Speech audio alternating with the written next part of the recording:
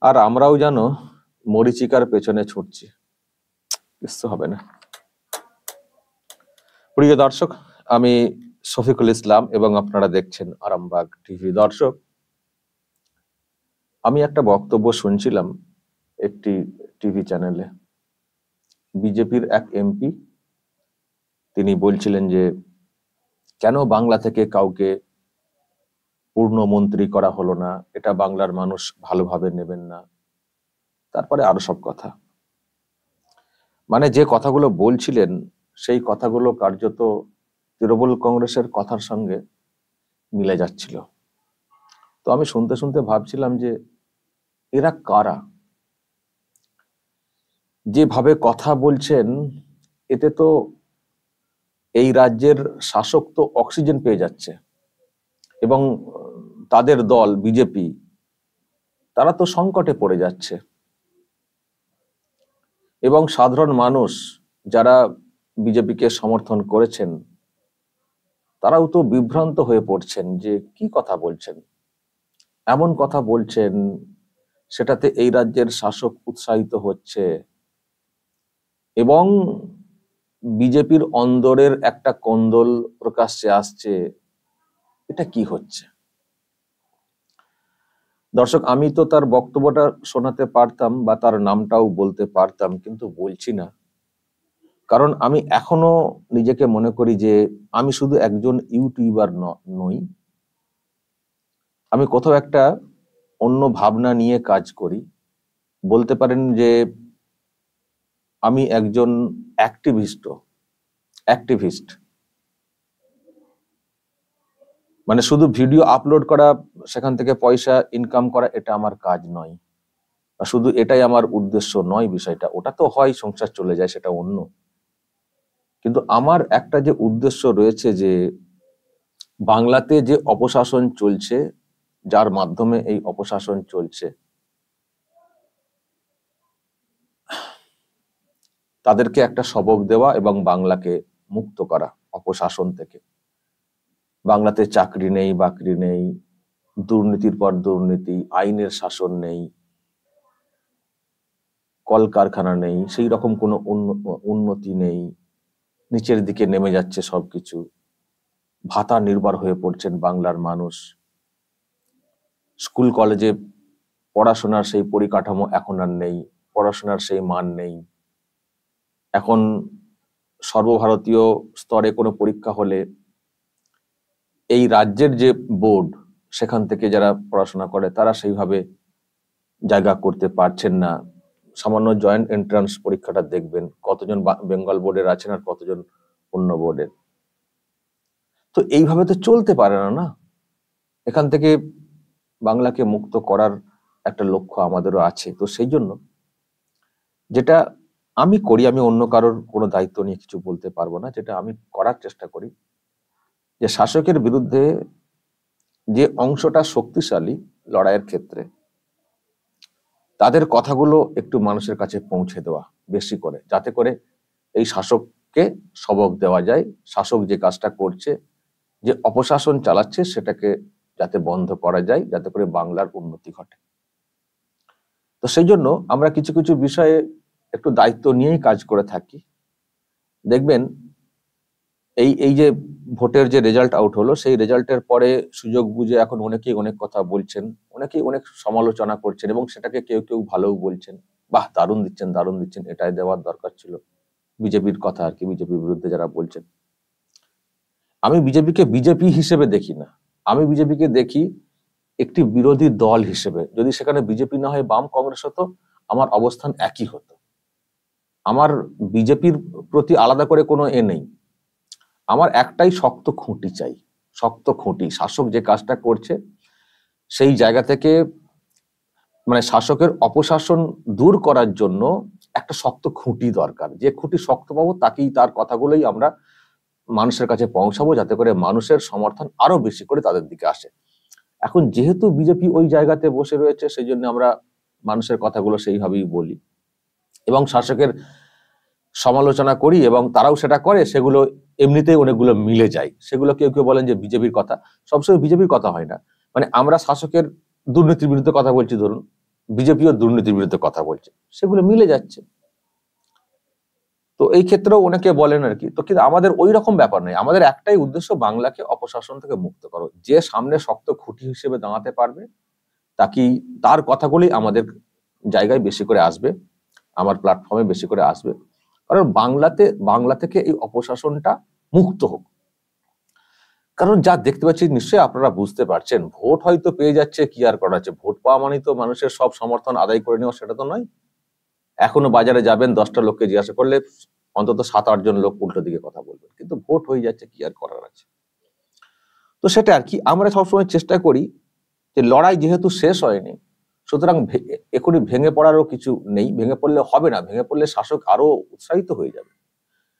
সুতরাং উল্টো দিকে যে শক্তিটা রয়েছে, বিরোধী শক্তি, তাদের অন্দরের দ্বন্দ্ব না প্রকাশ্যে আসে, তাহলে শাসক কিন্তু খুব মজা পাবে। এবং আরও ভাঙতে তাদের সুবিধা হবে বিরোধীদেরকে এবং তারাও ওইভাবে কাটিয়ে দেওয়ার ক্ষেত্রে আরও তারা উৎসাহিত হবে, তারা ওইভাবেই অপশাসন চালিয়ে তারা এগিয়ে যাবে। সেই জন্য বিরোধীদের অন্দরের দ্বন্দ্ব দেখবেন আমি প্রকাশ্যে আনিনি। কারণ ওই যে বললাম, শুধু খবর করা, শুধু ভিডিও করাটা আমার কাজ না, শুধু ভিউ পাওয়াটা আমার কাজ না। আমি পারলে দু চারটে বলে টলে ওহ, দারুণ দিচ্ছেন দারুণ দিচ্ছেন বলে ভিউ আদায় করতে পারতাম। কিন্তু ওটা আমার কাজ না।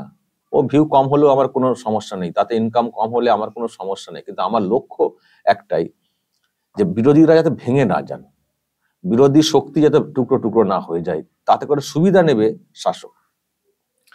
তো বিরোধীদের মধ্যে ঐক্য থাক, ঐক্য নিয়ে তারা লড়ুক, এই এই রেজাল্ট হয়তো হয়নি, কিন্তু পরের ভোটে তারা আরও শক্তি নিয়ে যাতে লড়তে পারে সেটা হোক। সেই জন্য আমি আমি নিজে দেখবেন বলেছি যে এটা কি হচ্ছে? বিজেপির অন্দরে এটা কেন এরকম চলছে? এবং সেগুলো অন্দরে না মিটিয়ে প্রকাশ্যে কেন কথাগুলো বলা হচ্ছে? ওটা কি বলছেন, আপনারা শুনছেন, এগুলো প্রকাশ্যে কেন বলা হচ্ছে? বিজেপির রেজাল্ট কেন হয়নি? সেসব নিয়ে অনেক প্রশ্ন রয়েছে, এখানে অনেক লুট হয়েছে, সেগুলোকে রোখা যায়নি, কি করে রুখতে হবে, সেসব নিয়ে চর্চা করতে হবে। কিন্তু সেগুলো অন্দরে হবে, দলের অন্দরে নিশ্চয়ই বৈঠক হবে। সেই বৈঠকে মারামারি হয়ে যাক না, তাতে কোনো কিছু যায় আসে না। কিন্তু বৈঠক না হয়ে সাংবাদিক বৈঠক করে যদি এইসব চলে, তো দলের অভ্যন্তরে দ্বন্দ্ব তো প্রকাশ্যে আসছেই। আর মানুষও তো বিভ্রান্ত হচ্ছেন না যে কি বাবা, তাহলে কি হবে? যাদেরকে ভরসা করে এ করছি, তারা দেখছি সব নিজেদের স্বার্থে মন্তব্য করে চলেছেন। দলের অন্দরের একটা কন্দল তারা তৈরি করে দিচ্ছেন। এই করলে কি করে পরিবর্তন আসবে?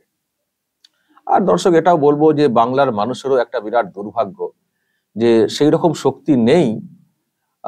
যারা ঐক্যবদ্ধ হয়ে একেবারে হেড অন ফাইটটা একসঙ্গে করতে মানে মানে পারবে আর কি এই মুহূর্তে। এখন বিজেপিকে নিয়ে যা দেখতে পাচ্ছি তো নিজেরাই নিজেদের মধ্যে খেয়ে খেয়ে করতে ব্যস্ত।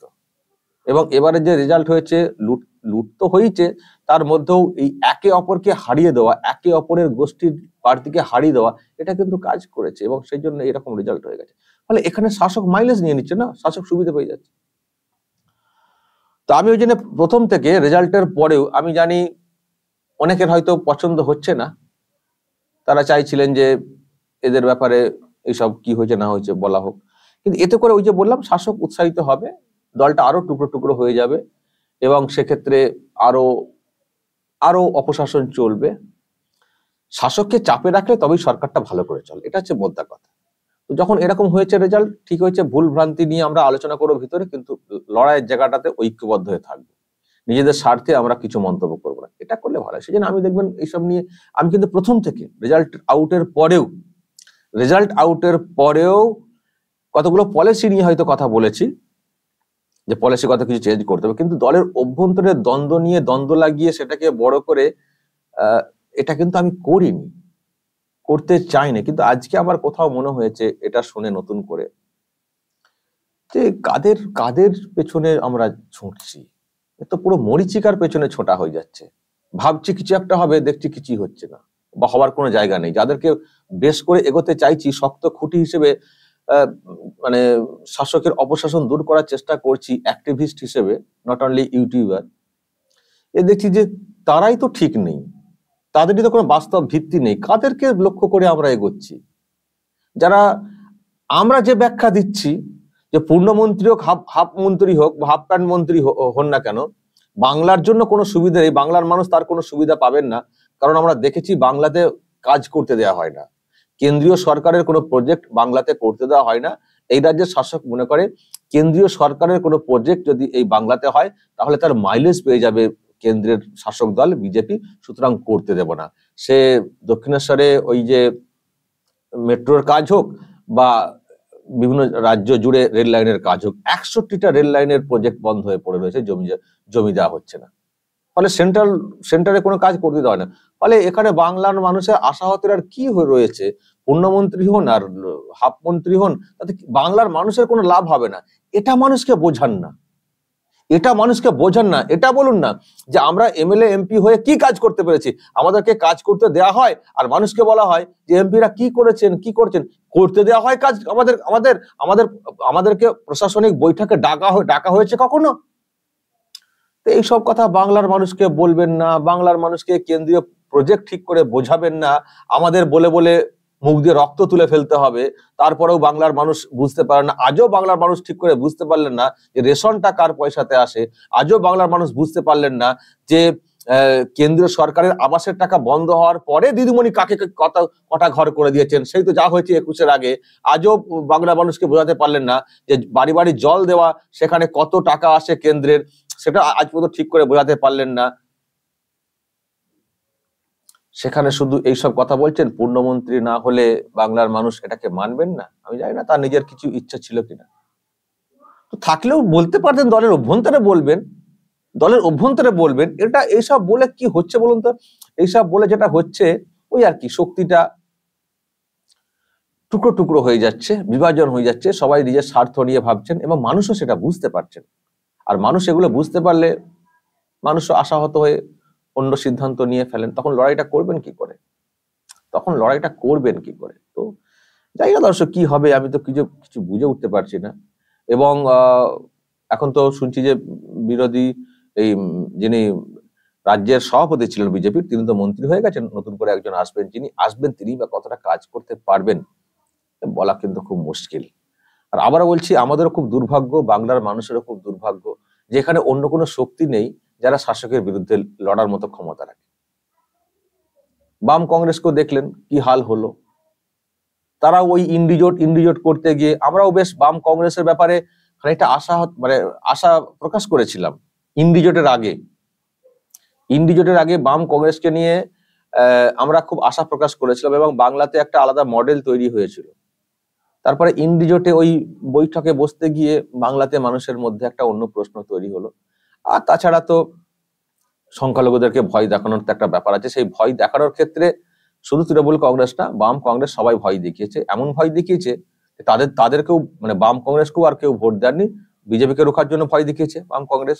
তখন তারা ভেবেছেন যে যখন বিজেপিকে রোখার ব্যাপারটাই হচ্ছে, তাহলে আর বাম কংগ্রেসকে ভোট দিয়ে কি লাভ? চলো তৃণমূল কংগ্রেসকে ভোট দিই। তারা সব তৃণমূল কংগ্রেসকে ভোট দিয়ে দিয়েছেন। ফলে বিজেপিকে রুখতে গিয়ে এখন বাম কংগ্রেস পথে বসে গেছে বাংলাতে। কিছুই হলো না তাদের। ফলে এটা এটা এটা না এটা না, এটা বাংলার মানুষের দুর্ভাগ্য যে তারা একটা শক্তিশালী প্ল্যাটফর্ম পাচ্ছেন না।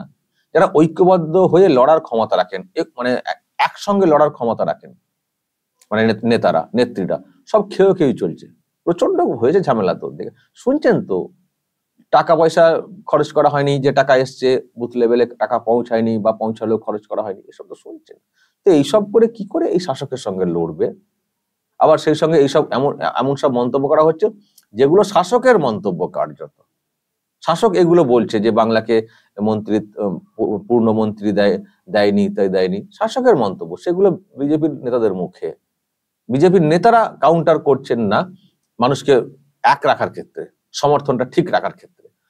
ফলে দর্শক, এইসব দেখলে শুনলেন না, কখনো কখনো মনে হয় যে কাদের পেছনে ছুটছি? কাদেরকে ভরসা করে আমরা বাংলার মুক্তি ভাবছি বা শাসককে সবক দেওয়ার চেষ্টা করছি, কাদেরকে বেশ করে? কাদের দিকে ছুটে? তো মরিচিকা আসলে বাস্তব কোনো ভিত্তি নেই। যাই না পরবর্তীকালে কি হবে? তো এই হচ্ছে বিষয়। দর্শক, আজকে এই কথাগুলো ভেবেছি যে না বললেই নয়, বলতে হচ্ছে। যে আমাদের দুর্ভাগ্য, যারা আমরা শুধু ইউটিউবার হিসেবে, শুধু ওই ভিডিও করে, আপলোড করে, পয়সা ইনকাম করার জন্য আসিনি আমরা একটা লক্ষ্যে এগোচ্ছি। আমাদের নিজস্ব কোনো স্বার্থ নেই। আমি আমার নিজের কথা বলছি, আমার নিজস্ব কোনো পলিটিক্যাল স্বার্থ নেই। আমার পলিটিক্যাল ওইসব প্ল্যাটফর্মে যাওয়ারও কোনো ইচ্ছে নেই। কিন্তু বাংলা একটা, বাংলা মুক্তি পাক আমার জীবনে নতুন করে কিছু পাওয়ার নেই। আমি এটা বলতে পারি। আমি জীবনে যা আমার আছে, আমার চলে যাবে। আমার নতুন করে কোনো লক্ষ্য নেই, নিজের নিজস্ব কোনো ব্যক্তিগত কোনো চাওয়া পাওয়া নেই আর যে যাই আপনারা বলুন বিজেপির একটা নেতা বলে দিন তো যে আরামবাগ টিভিকে শফিকুল ইসলামকে একটা টাকা দিয়েছি। এই যে এত বড় ভোট পর্ব হলো, প্রচার হলো, ইত্যাদি হলো, একটা টাকা দিয়েছি বলুন তো।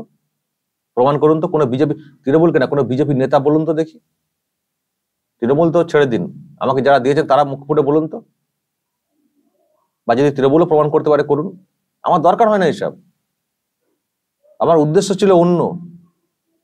যে বাংলায় যা চলছে, আমরা যা দেখেছি, বাংলাকে, এই বাংলা তার থেকে অনেক খারাপ হয়ে গেছে। এই বাংলাকে আরও ঠিক জায়গায় নিয়ে আসতে হবে। আর এদের যা মানসিকতা এরা কখনো পারবে না ঠিক ঠিক জায়গায় নিয়ে আসতে। যদি আনতে পারে ভালো, এই যে এত ধাক্কা এসছে যদি আনতে পারে ভালো, কিন্তু আমার তো, দেখুন, একজনের চিন্তা ভাবনা একটা ভীষণ দেখলে তো বোঝা যায়, একটা সংসার কীভাবে চালাতে পারবেন, সংসারের যিনি মেন হন, তাকে দেখলে বোঝা যায়, সবাই কি সমান মতো করে পারেন সংসার চালাতে? অনেক তো হলো, এবার একটু বাংলার ভালো দিকটা হোক না। না পারলে অন্য কেউ এসে করুন না। এটা আমাদের ডিমান্ড থাকতেই পারে বাংলার মানুষ হিসেবে। বাংলাটা তো ওনার তো পৈতৃক সম্পত্তি নয় যে উনি সারা জীবন চালাবেন। এটা তো নয়। আর বাংলায় কোনো যোগ্য কোনো মানুষ নেই বাংলাকে চালানোর ক্ষেত্রে। সেটাও তো আমরা কখনো মানি না। তো সেই জায়গা থেকে বলা। কিন্তু যাদেরকে বেশ করে আমরা এগোতে চাইছি, যাদের ঐক্যবদ্ধ লড়াই আমরা আশা করছি সামনে বড় লড়াই দু হাজার ছাব্বিশ, সেখানে দেখছি নিজেরাই সব এই পাইনি কেন, সেই পাইনি কেন নিয়ে কথা বলছেন। সব নিজেদের স্বার্থেই চলবেন, লড়বেন। বাংলার মানুষের স্বার্থ বাংলার মানুষের সমর্থনটা কোনো ব্যাপার নয়। বাংলার মানুষের চাহিদার ব্যাপারটা কোনো ব্যাপার নয়। একজন পূর্ণমন্ত্রী দিলেই খুব চাহিদা পূরণ হয়ে যেত। দর্শক, আমি কথাগুলো বলতে বাধ্য হলাম। আমি আবারও বলছি, আজও এখনও কিন্তু আমি তাকে দেখালাম না। কারণ ওই যে দায়িত্বশীল ইউটিউবার হিসেবে সেই দায়িত্বটা পালন করছি। এখনও চাই না নিজেদের মধ্যে দ্বন্দ্বটা প্রকাশ্যে এসে শক্তিটা দুর্বল হয়ে যাক আর তার মাইলেজটা নিক শাসক। কিন্তু প্রশ্ন হচ্ছে যে যে দায়িত্ব পালন করছি এখনও আমার ভিউয়ার্স এর ভিউয়ার্সকে আমি, এমনকি ভিউয়ার্সদের বিষয়টা আমি মানছি না। তারা আরও অনেক কিছু শুনতে চাইছেন আমার কাছ থেকে। শুধুমাত্র শক্তি, শক্তিটা যাতে দুর্বল না হয়ে যায় সেই জন্য। যদি এর পরেও না শিক্ষা নেয়, যারা রয়েছেন এখানে বিরোধী নেতা হিসেবে, যারা সব রয়েছেন দলে বিরোধী দলের। তাহলে আর কিছু করার নেই। তাহলে বাংলার মানুষকে যাই না, নতুন নতুন দিশা দেখতে কত বছর অপেক্ষা করতে হবে। তবে একটা কথা বলে রাখি, আজীবন কিন্তু এরকম চলে না। যদি দেখা যায় যে বঙ্গ বিজেপি ঠিক মতো করে মানুষের প্রত্যাশা পূরণ করতে পারছে না, নিজেদেরকে সেই স্ট্যান্ড করাতে পারছে না লড়াইয়ের জায়গাতে, মানুষ কিন্তু বিকল্প খুঁজে নেবেন। এটা কিন্তু আমি আপনাদেরকে এটা তো আপনাদেরকে না, আপনারা নিশ্চয়ই বুঝতে পারেন। এটাই কিন্তু নিয়ম। মানুষ কিন্তু বিকল্প খুঁজে নেবেন। যদি মনে করেন যে আমরা ছাড়া কোনো বিকল্প নেই এসব এসব ভাববার কোনো কারণ নেই। আমার মনে হয় ছাব্বিশটা পর্যন্ত মানুষ অপেক্ষা করবেন বাংলার মানুষ কি হচ্ছে না হচ্ছে। তারপর দেখবেন কোথায় কোন দিক দিয়ে কাকে হঠাৎ করে দেখবেন রাতারাতি নেতা বানিয়ে দিয়েছে। দর্শক বলবেন যা বলার কমেন্ট বক্সে নজর রাখবেন আরামবাগ টিভিতে